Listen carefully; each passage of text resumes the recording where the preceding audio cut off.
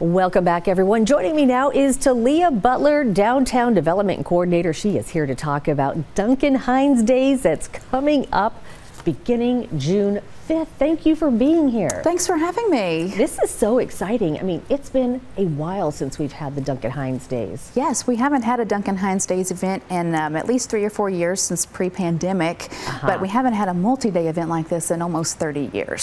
So this goes which days? This runs uh, June the 5th, that is uh, next Monday, less than a week away, wow. through uh, June the 11th. And we're, um, we're treating it as a kind of a multi-day, week-long festival with things going on all over the community throughout the week to enjoy and take part in. Yeah, there's a number of restaurants, bars, food trucks. Yes, and yes. So tell me a little bit about everything going on. We might be here for a while because there is a lot happening. I'll, I'll, sum it up real quick. Um, okay. um, we'll, we'll, start with Restaurant Week. You know, this is a true celebration of Southern Kentucky uh, food and drink and this the culinary experience that Duncan Hines uh, loved so much because he was more than just cake mix. He had over 150 products with his name on it in mm -hmm. The 50s and that were all food related related. Yeah. yeah. yeah. So we have a restaurant week going on the entire week. And on the Duncan Hines Days website, you can see all the restaurants that, that are partaking. We have over 30, uh, 30 signed up so far. And they're all wow. local. And it's telling that local culinary story that we love so much. Mm -hmm. Then we have um, just a whole mess of events happening around the community during the rest of the week. We have a free community ice cream social on June the 8th. That's Thursday at SoKY Marketplace and a vintage car cruise in that night yes. downtown. We have the Bowling Green Hot Rods playing as the hot dogs on June the 10th, that Saturday. And they're bringing funny. in Joey Chestnut, who won the World uh, World Championship yes, for hot dog course. eating for 17 you gotta years. Have him. And we have a free Eats and Beats Music Festival on that Saturday, June the 10th as well. And we have the Kentucky Headhunters and Government Cheese headlining that for us. And they haven't played in Bowling Green in almost 10 years.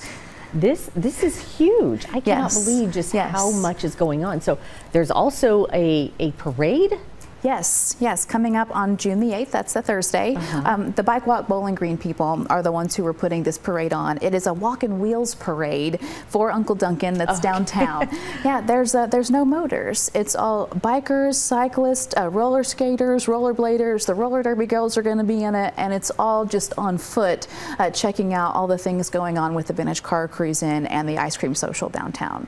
Okay, and did yeah. I hear you say something about a duck paddler? Something? A duck paddle event, yes. Okay, paddle. Yes. This is for our adventure people. Uh, on June the 10th in the morning, you can uh, participate in Uncle Duncan's duck paddle. That's a race and regatta starting from the downtown boat ramp at Weldon Peete Park, ending at Hines Park. It's about a three-hour float, and we'll have um, a free block party with food trucks and live music at Hines Park when you get out of the water there. It's a little bit of something for everyone. There's a seat at the community community table for all. Yes, you, yeah, everything. So how long have you all been planning this? This is a giant it's, uh, event. Uh, it's been about a year in the making. Okay. We, um, we reached out to several of our restaurants and attractions and businesses around Bowling Green about a year ago and said, you know, we haven't had a Duncan Hines event in a long time.